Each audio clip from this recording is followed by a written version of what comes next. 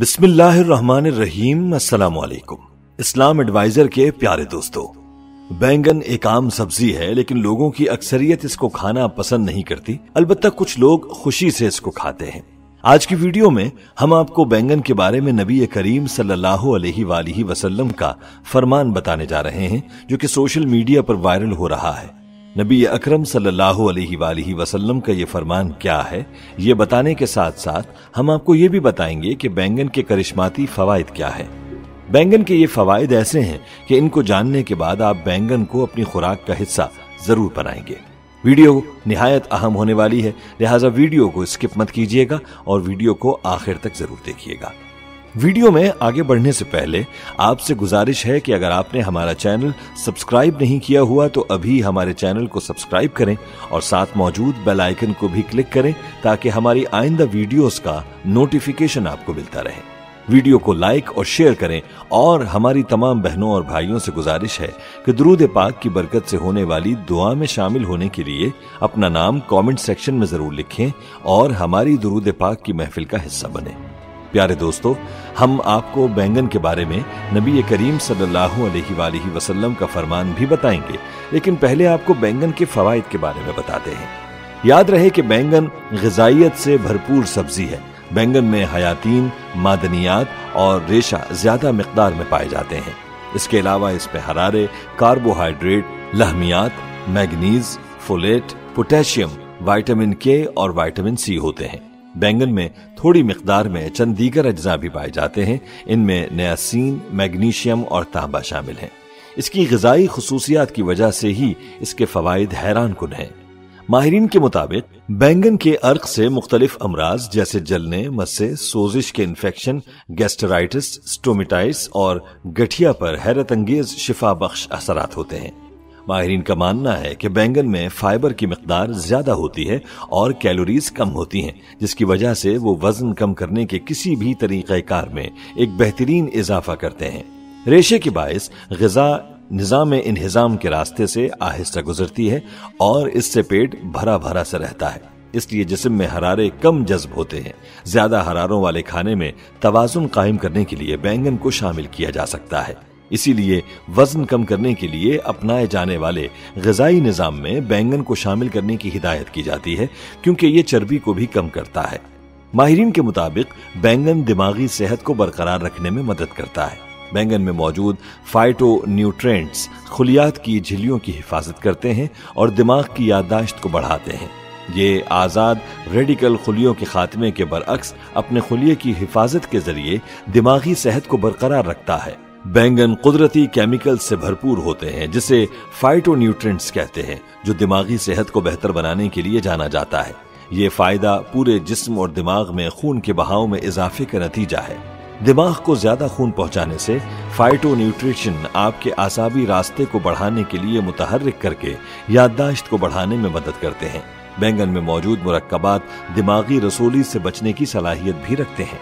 प्यारे दोस्तों, आजकल एक आम बीमारी जो शुगर यानी जियाबीतस है, इसके लिए भी बैंगन मुफीद है चूँकि इसमें फाइबर पाया जाता है और कार्बोहाइड्रेट्स की मकदार भी बहुत कम होती है। इसी वजह से ये जियाबीतस के मरीजों के लिए बहुत सूदमंद है।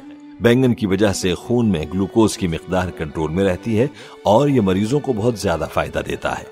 बैंगन जो खास तौर पर हामिला खातन दूध पिलाने वाली माओ और नौ उम्र खातन के लिए भी तजवीज किया जाता है। बैंगन में मौजूद एफ़ ई में माहवारी से पहले के सिंड्रोम, एमोनीडिया और कबलस पैदाइश खून की कमी को पूरा करने की सलाहियत होती है। हमल के दौरान बैंगन खाए जा सकते हैं, लेकिन हर चीज़ की तरह इसे एतदाल से इस्तेमाल किया जाना चाहिए। ये बच्चे की मजमू नशोनुमा के लिए बेहतरीन है, क्योंकि इसमें वाइटामिन ए और वाइटामिन ई जैसे गजाई अज्जा की मुनासिब मकदार होती है।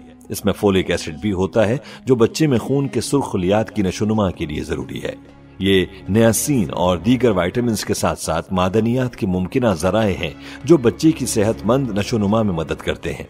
इसके अलावा इनमें पोटेशियम, आयरन, मैगनीज, कॉपर भी ज़्यादा मकदार में पाए जाते हैं। ये सब बच्चे के खून की सेहतमंद गर्दिश में मदद देते हैं। प्यारे दोस्तों, आपको ये जानकर हैरानगी होगी कि बैंगन दिल की सेहत को बेहतर बनाता है। माहरीन के मुताबिक, बैंगन बायोफ्लावोनाइड से भरपूर होते हैं, जो ब्लड प्रेशर को कम करने में बेहतरीन है। ये बदले में दिल पर दबाव को कम करेगा, गर्दिश को बेहतर बनाएगा और आमतौर पर एक सेहतमंद कलबी निज़ाम को बढ़ाएगा। बैंगन में मौजूद फाइबर खराब कोलेस्ट्रॉल और ट्राइग्लिसराइड्स को कम कर सकता है, जो कि दिल की बीमारी के खतरे की वजूहत है। कम एच डी एल फालिज हार्ट अटैक के खतरे को भी कम कर सकता है। बैंगन में मौजूद एंथोसियान्स सोजिश को कम करने में भी मदद करते हैं, जिससे दिल की बीमारी का खतरा बढ़ सकता है। मुतद तहकीक से साबित हुआ है कि बैंगन खून में कोलेस्ट्रॉल की सतह को कम करने और खून की गर्दिश को बेहतर बनाने की कुदरत रखता है, जिससे खून की गर्दिश का निज़ाम अच्छा हो जाता है। प्यारे दोस्तों, बैंगन के नुकसान क्या हैं, ये भी आपको बताएँगे, लेकिन पहले आपको नबी करीम सल्लल्लाहु अलैहि वसल्लम का फरमान बताते हैं, जो बैंगन के हवाले से है और सोशल मीडिया पर वायरल हो रहा है। तो सोशल मीडिया पर बैंगन के हवाले से ये बात फैलाई जा रही है कि नबी करीम सल्लल्लाहु अलैहि वसल्लम ने फरमाया कि बैंगन को जिस मकसद के लिए खाओगे, वो तमन्ना पूरी हो जाएगी। दोस्तों, अब सवाल यह है कि नबी करीम सल्लल्लाहु अलैहि वसल्लम के इस फरमान की हकीकत क्या है? तो इस बारे में ये जान लें कि ये बात बाज ऐसे ममालिक ने फैलाई है जिनमें बैंगन की काश्त तो ज़्यादा होती थी और इन ममालिक में बैंगन को इस्तेमाल करने वाले लोग कम थे। और इन ममालिक में कुछ अरब ममालिक भी शामिल हैं। उन्होंने ये बात इसलिए फैलाई ताकि उनकी काश्त किए जाने वाले बैंगन फरोख्त होने लगे। तो दोस्तों, आपने बैंगन के बारे में फैलाए जाने वाले नबी करीम सल्लल्लाहु अलैहि वसल्लम के फरमान और इसकी हकीकत के बारे में जाना। चलिए, अब आपको ये बताते हैं कि बैंगन के मुमकिन नुकसान क्या हो सकते हैं। याद रहे कि माहिरीन के मुताबिक टाइप टू जियाबीतस के लिए बैंगन तमाम मरीज़ इस्तेमाल नहीं कर सकते। इसके इस्तेमाल के लिए बहुत से तजादात मौजूद हैं। इसलिए इसके इस्तेमाल में एहतियात की ज़रूरत है। मैदे की बीमारियों के मरीजों को एहतियात करना चाहिए। बैंगन में एक बड़ी मकदार में रेशा होता है। ये मैदे, अल्सर और मैदे के साथ होने वाली दीगर परेशानियों को बढ़ाता है। लिहाजा आप इसको हफ़्ते में दो बार से ज़्यादा नहीं खा सकते। तवील मुद्दती स्टोरेज के साथ ही इसका इस्तेमाल नहीं करना चाहिए। ये टॉक्सिन जमा करता है, जो नामुनासिब सलूक का बायस बन सकता है। तली हुई बैंगन भी नुकसानदेह हो सकती है। तली हुई सब्ज़ी में रेशा तबाह हो जाता है और इसका गूदा जहरीले मादों से सैर हो जाता है, जो खाना पकाने के अमल के दौरान सब्जियों के तेल से खारिज होता है। मजीद ये कि तेल में भीगे हुए तली हुई बैंगन की कैलोरी का मवाद बैक्टीरिया उबली हुई सब्जियों की कैलोरी के मवाद से कई गुना ज़्यादा है। खास तौर पर मैदे के मसाइल वाले लोगों के लिए इस तरह के खाने की सिफारिश नहीं की जाती। बैंगन में सोलानाइन मौजूद होता है। एक जहरीला मादा है जिससे इंसान को जहर दिया जा सकता है। जहर इसहाल मतली, कै, दौरों, दर्द और यहाँ तक के उलझन के साथ ज़ाहिर हो सकता है और रेप बैंगन एक बाकायदा तौर पर भूरी, जिल्द का रंग, बीजों की ज़्यादा मकदार और बसरी बासी तना है। लिहाजा सफ़ेद छिलके के साथ बैंगन लेना बेहतर है। इनमें सोलानाइन का कम से कम मवाद होता है। इनका खुशगवार और नाजुक साका होता है। इसी तरह यह भी कहा जाता है कि गैस्ट्राइटिस पेट के अल्सर और बदहजमी के साथ कच्चे या तली हुई बैंगन का ज़्यादा इस्तेमाल न करें। ये थी हमारी आज की वीडियो, इसे आपने शेयर भी ज़रूर करना है।